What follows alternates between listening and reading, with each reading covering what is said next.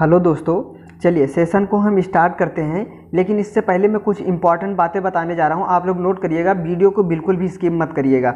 देखिए, मैंने जो एनालिसिस किया, जो देख रहा हूँ कि बहुत कम बच्चे हैं जो क्लास को करते हैं। ये वही बच्चे हैं जो सिलेक्शन तक जाते हैं और एक वो बच्चे होते हैं, जब एग्ज़ाम आता है तो किसी भी टीचर के तो आपके वीडियो के नीचे देखिएगा, बहुत सारे व्यू आते हैं, बहुत सारे लाखों में बच्चे देखते हैं। तो वो सिर्फ़ भीड़ इकट्ठा करने के लिए आते हैं। आप जितने भी स्टूडेंट पढ़ रहे हैं, आप ही लोगों का सिलेक्शन होने वाला है, क्योंकि आप लोग अपनी निरंतर पढ़ाई को बनाए रखें। और तो लोग जो पढ़ने आएँगे, बाद में आएँगे, अभी जब एग्ज़ाम होने लगेगा तो सिर्फ़ भीड़ इकट्ठा करने के लिए आएँगे। आप लोग बिल्कुल मत डरिए, मेरी बातों से पूरा ध्यान से सुनिए। आप लोग बहुत ही अच्छे से पढ़ाई कर रहे हैं, जितने भी लोग देखते हैं, पूरा क्लास रोज़ करते हैं, पूरा वीडियो लोग देखते हैं और कमेंट भी करते हैं। चलिए, आज का सेशन बहुत ही इंपॉर्टेंट होने वाला है, क्योंकि आज के क्वेश्चन जो हैं, बहुत यूनिक क्वेश्चन है। देखिए क्वेश्चन नंबर फ़र्स्ट है हमारा, कि इसमें बोला क्या गया है, मनीष ने एक मोबाइल फ़ोन अंकित मूल्य पर 50 परसेंट की छूट के बाद खरीदा। और उसने अपने क्रय मूल्य के 35 परसेंट लाभ पर इक्यासी सौ रुपये में बेच दिया। अंकित मूल्य क्या था? देखिए, जो हमारे शुरू से स्टूडेंट जुड़े होंगे, वो इस क्वेश्चन को तुरंत कर लेंगे। उनको तुरंत समझ में आया जाएगा इस प्रश्न में करना क्या है। देखिए, हम जितने भी सवालों को बताते हैं, ज़्यादातर कोशिश करते हैं कि आपको कोई भी फार्मूला ना हो, कुछ याद ना करना पड़े। बस आप एक बार ये प्रश्न देख लेते हैं तो एग्ज़ाम में कहीं भी देखने को मिलता है तो आप हंड्रेड परसेंट प्रश्नों को करके आएँगे। देखिए सबसे पहले क्या करेंगे? जो हमें बोला गया, पचास परसेंट की छूट करते हैं तो देखिए सौ में जब पचास परसेंट छूट करेंगे तो पचास हो जाएगा। और यहाँ पे दूसरा क्या बोला गया? आपका पैंतीस परसेंट का लाभ तो एक सौ पैंतीस हो गया। अब हम गलतियाँ कहाँ पे करते हैं? जैसे लिखिए, इक्यासी सौ लिख दिए, ठीक है? अब गुणे में कर दिए। अब यहाँ पे हम ये कन्फ्यूज़ रह जाते हैं कि सौ हमारा ऊपर रहेगा या हमारा 135 या 50 ऊपर रहेगा। देखिए, समझिएगा प्रश्न हमेशा जो है आपको आधा आंसर दे देता है। यहाँ पे बोला गया है, अंकित मूल क्या था?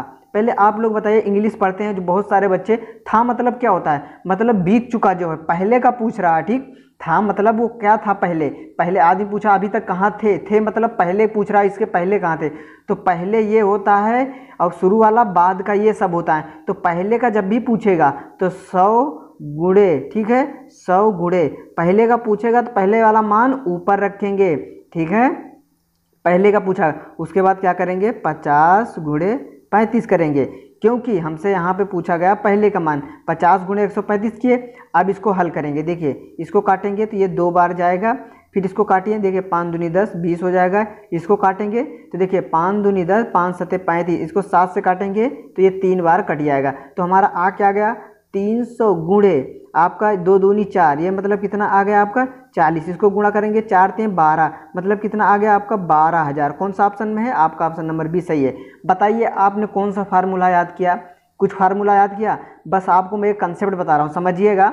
आप बस ये समझिए। देखिए, हमारा देखिए, छूट बोलता है हमेशा सौ से माइनस होता है। तो छूट बोला, पचास हो गया। ठीक है? और यहाँ पे क्या बोला गया? पैंतीस परसेंट का लाभ। तो सौ पे पैंतीस परसेंट का लाभ एक सौ पैंतीस हो गया। ये हमारे जो होते हैं, पहले के मूल्य होते हैं, ठीक है? ये पहले के होते हैं। और ये जो इधर के होते हैं, ये हमारे बाद वाले होते हैं। तो हम हमेशा जो दिया रहेगा, पूरा लिखा रहेगा रुपये उसको लिख देंगे, गुड़े लिखेंगे।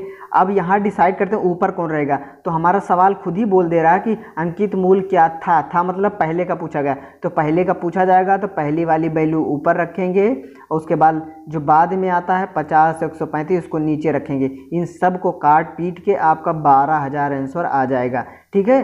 समझ गए होंगे, आसानी से समझे होंगे। बहुत सारे लोग समझ गए होंगे क्योंकि रेगुलर हमसे पढ़ रहे हैं तो उनको जो तरीका मैं बताता हूँ, देखिए, मैं हमेशा एक चीज़ बताता हूँ, एक वीडियो भी अपलोड किया था, मैथ कैसे सीखें। तो यही चीज़ बताता हूँ, आप किसी भी एक टीचर से पढ़ेंगे ना तो वो जो अपना बताता है, एक तरह हल करने का तरीका, वो तुम्हारे दिमाग में बैठ जाता है। तो कभी भी आप प्रश्नों को गलती नहीं करेंगे। चलिए नेक्स्ट क्वेश्चन की तरफ़ चलते हैं। बस आप लोग दोस्तों इस वीडियो को शेयर ज़रूर करा करिए। बहुत सारे स्टूडेंट कहते हैं, सर शेयर करेंगे कंपटीशन बढ़ जाएगा। देखिए कंपटीशन नहीं बढ़ने वाला है, वो सबके अपने अपने पढ़ने का तरीका होता है। आप खुद देख रहे होंगे, किसी भी इस समय व्यू कितना आता है, किसी भी जो क्लासेज होती हैं। लेकिन जब यही बच्चे होंगे जो लाखों में आएँगे ना उसे भीड़ इकट्ठा करने आएँगे। आप ही लोगों का सिलेक्शन होने वाला है। देखिए, ये प्रश्न बहुत ही यूनिक है। इस प्रश्न में आप लोग गलती कर देंगे, लेकिन मैं बहुत ही आसान तरीका बता रहा हूँ। देखिए बारह व्यक्ति छः दिनों में एक काम को एक बटा चार हिस्सा समाप्त करते हैं। अगले छः दिनों में काम पूरा करने के लिए अतिरिक्त व्यक्तियों की आवश्यकता है। तो संख्या ज्ञात कीजिए। देखिए, आप एक्स फार्मूला सबको पता होगा M one D one W one ठीक है? बराबर में क्या होता है? M two D two W two बता दे रहा हूँ, लेकिन सबको, स्टूडेंट को पता, जितने भी बच्चे आज तैयारी करते हैं, सबको ये फार्मूला पता है। देखिए, अब कैसे हल करेंगे? हमारा यहीं पे समझना है। देखिए आपका बारह व्यक्ति किसी काम को, ठीक है छः दिनों में एक बटा चार हिस्सा समाप्त करते हैं, ठीक है, आपका बराबर। यहाँ पे बोला, अगले छः दिन आप समझिएगा गलती कहाँ करेंगे। आप गलती कहाँ करेंगे? यहाँ पे छः लिखेंगे। छः नहीं लिखना है। देखिए छः दिन तो यहाँ हो गया, उसके बाद अगले छः दिन तो एक, देखिए, यहाँ छः दिन हुआ, उसके बाद छः दिन में और अगला छः दिन तो कितने दिन हो गए? बारह दिन। गुड़े क्या पूछा गया है आपका? कितने अतिरिक्त व्यक्तियों की संख्या मतलब हमसे एम पूछा गया, ठीक है? अब यहाँ हल करेंगे तो ये चार क्या होता? है ऊपर चला जाता है ठीक है? ये चार हमारा ऊपर चला जाता है तो देखिए बारह से बारह कट जाएगा तो ये हमारा क्या बचेगा? छः गुड़े चार बराबर में एम तो कितना आ जाएगा? छः चौक चौबीस बराबर में एम आपका आंसर कौन सा है? आपका ऑप्शन नंबर डी सही है। कितने लोग समझ गए? आप लोग कमेंट करके बताइएगा।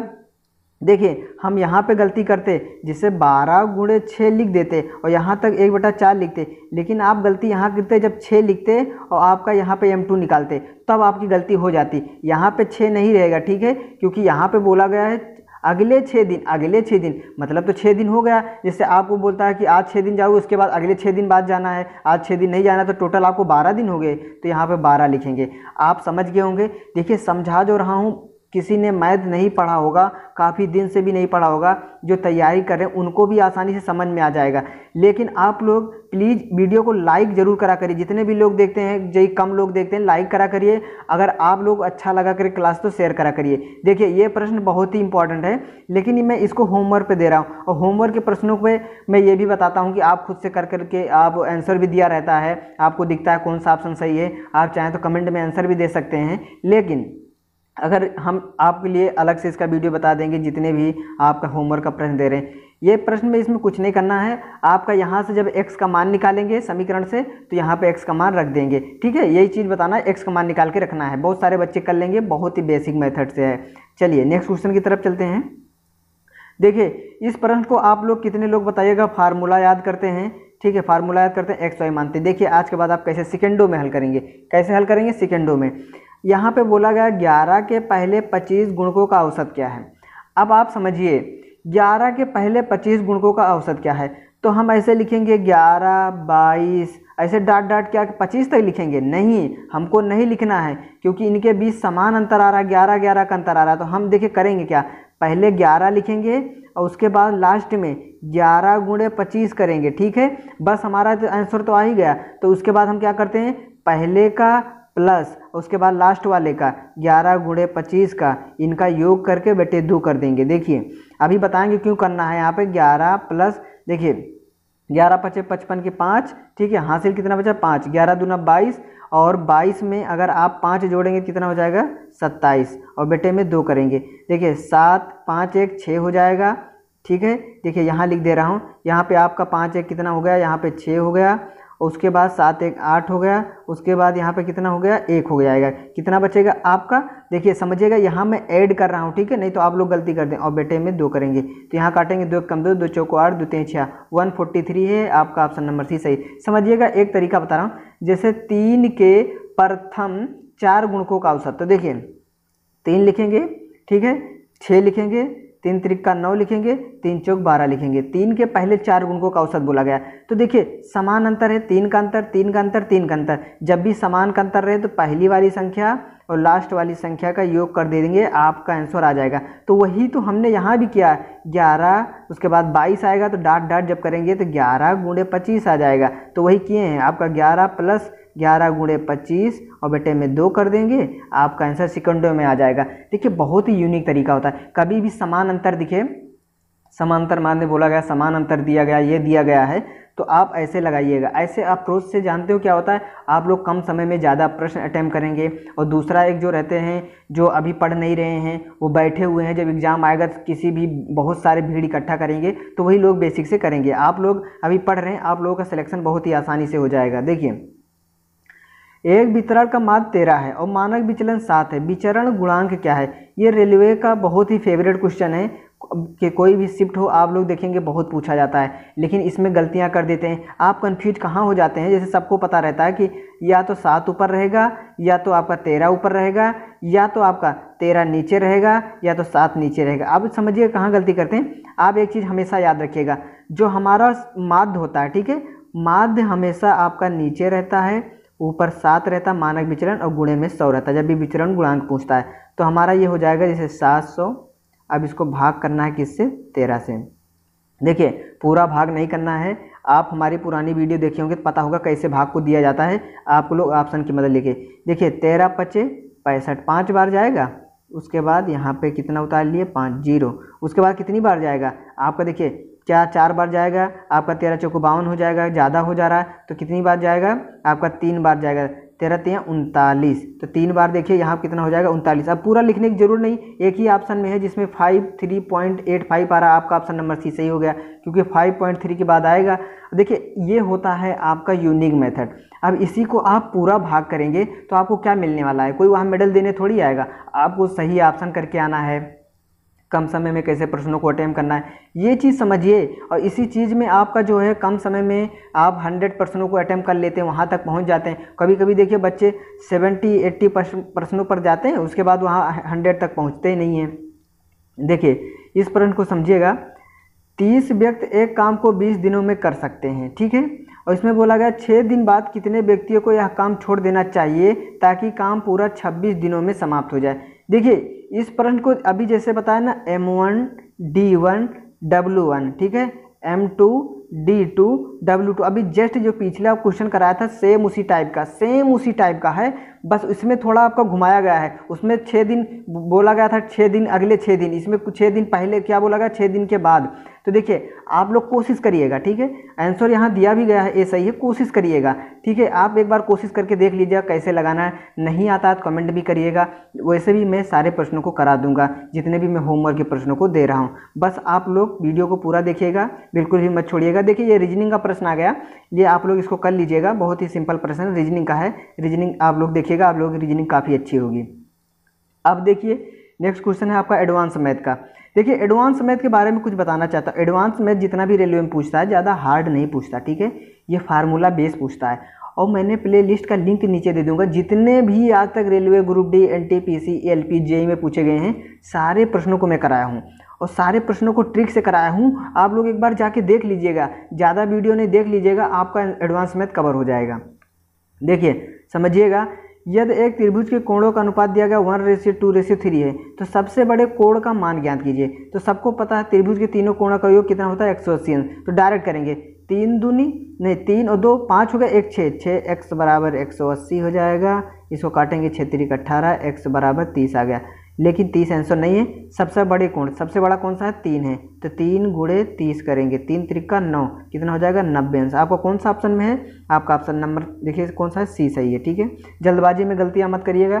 कभी कभी तीन तीन जैसे अभी मैं यहाँ कर रहा था, तीन दूनी छः कर रहा था। ऐसा नहीं करना तीन और दो पाँच करना है। ऐसे गलतियाँ होती हैं, ठीक है? तो ये छोटी छोटी गलतियों को आप लोग समझिएगा। कहाँ पर गलती करना है। देखिए, ये प्रश्न है, इसको दो टाइप से करेंगे, ठीक है? एक बेसिक तरीका नहीं बताऊँगा और एक आपको बताऊँगा ऑप्शन कैसे ट्रिक से हल कर सकते हैं। देखिए, आपको समझना क्या है? जैसे बोला गया, बाईस प्रेक्षणों का माद दस है। दो और प्रेक्षणों को शामिल करने पर नया माद ग्यारह हो जाता है। नए प्रेक्षण का माद क्या? देखिए, इसमें स्मार्ट अप्रोच कैसे लगाना? जैसे कि हमारा पता गया है, बाईस, ठीक है? बाईस दिया गया आपका, देखिए, बाईस गुणे दस। ये कितना हो जाएगा आपका? दो सौ बीस हो गया। ठीक है, पूरा कर रहे हैं। और यहाँ पे दो और शामिल कर लिया जाता है। तो बाईस में दो करेंगे, चौबीस। ठीक है तो चौबीस प्रेक्षणों का माद कितना है आपका? ग्यारह है। ग्यारह हो गया। अब देखिए, इसी में आप लोगों को बहुत सारे तरीक़ों से कर सकते हैं। ठीक है, जैसे यहाँ करेंगे ग्यारह चौक चौवालीस, चार बचेगा, ग्यारह दूना बाईस, और दो कितना हो जाएगा? छब्बीस। दो सौ चौंसठ आ गया। अब देखिए इसमें कैसे हम ऑप्शन की मदद से कर सकते हैं? देखिए, यहाँ से दो दो जाएगा चौबीस से, यहाँ वो नीचे वाले से घटेगा क्योंकि बड़ी वैल्यू है तो यहाँ दो बचेगा और यहाँ नीचे वाले से घटेगा। तो देखिए लास्ट में यहाँ क्या बच रहा पहले ये समझिए। हम पूरा हल करके नहीं बता रहे हैं। देखिए, चार में से ज़ीरो जाएगा तो यहाँ पर कितना बचेगा? चार बचेगा। तो हम जब भाग करेंगे तो लास्ट में दो आएगा, क्योंकि चार से जब भाग करेंगे तो दो दूनी चार हो जाएगा। तो दो एक ही ऑप्शन में आपका ऑप्शन नंबर डी सही है। अगर नहीं समझ में आया तो देखिए कैसे करना है। बहुत सारे लोगों को नहीं समझ में आएगा। इसके बीच अंतर कितने का है? अब यहाँ करेंगे, देखिए, यहाँ नीचे वाले से घटाएँगे तो चार छः में से दो जाएगा चार, ठीक है? तो हमारा यही दो बराबर चौवालीस क्या है? तो पूछा गया है कि दो नए प्रेक्षणों का माध्य कितना है? तो चौवालीस बेटे में दो करेंगे, कितना हो जाएगा बाईस? देखिए, आप चाहें तो पूरा हल करें, आप चाहें तो ऐसे हल कर सकते हैं। देखिए, एग्ज़ाम में बैठे हैं तो क्या किए? बाईस गुड़े दस किए। पूरा नहीं, लास्ट वाले अंक को लिए। लास्ट वाले अंक कितना आ रहा ज़ीरो आ रहा और यहाँ दो शामिल कर लिए, चौबीस गुड़े क्या किए? दो और परीक्षणों को ग्यारह हो जाता है। तो ग्यारह चौक चौवालीस लास्ट में चार आ रहा है। तो यहाँ पता है दो आएगा, यहाँ पता है चार में से ज़ीरो जाएगा, चार आ जाएगा। तो ऐसा कौन सा ऑप्शन रहेगा जिसमें दो से काटेंगे लास्ट में दो दूनी चार दो आएगा? तो आपका ऑप्शन नंबर डी सही है। देखिए, ये तरीका होता है एग्ज़ाम को क्रैक करने का, ठीक है? देखिए, इसमें जितने भी लोग एग्ज़ाम में बैठते हैं समझिएगा। 90 परसेंट जो बच्चे रहते ना, सारे मैथ के क्वेश्चन को, आल मैथ के क्वेश्चन को लगभग कर लेंगे। लेकिन करने से नहीं होता। कम समय में आप कितने प्रश्नों कर रहे हैं, ये देखा जाता है। यही आपकी स्पीड होती है। बहुत अगर बेसिक से लगाने को बोल दिया जाए, आप लोग बहुत सारा टाइम दीजिए, सब लोग 90 करके आएँगे। लेकिन अगर यही कम समय में, इसलिए आप लोग क्यों किया जाता है सीबीटी कंप्यूटर बेस को? क्योंकि उसमें देखा जाता है आप कितने अंदर स्मार्ट वर्क से करते हैं। तो इसलिए मैं स्मार्ट वर्क शार्ट ट्रिक सारे तरीके बता रहा हूँ कि एग्ज़ाम में कैसे प्रश्नों को हल करना है, कैसे अटैम्प्ट करना है, कैसे क्रैक करना है। लेकिन दोस्तों, जो वीडियो लाता हूँ, आप ही लोगों के लिए लेके आता हूँ। लेकिन आप लोग प्लीज़ दोस्तों शेयर ज़रूर करा करिए। एक लाइक करके जाया करिए और कमेंट में बता दिया करिए सेशन कैसे लगा। देखिए, फिर लाएँगे रेगुलर महत्वपूर्ण क्लास होगी। आप ही लोग पढ़ रहे हैं। बाद में लोग भीड़ इकट्ठा करने आएँगे। जितने भी लोग पढ़ रहे हैं, आप ही लोगों लोग सिलेक्शन होने वाला है। चलिए दोस्तों, फिर मिलेंगे नेक्स्ट क्लास में। तब तक के लिए दोस्तों, आप लोग का धन्यवाद। जय हिंद।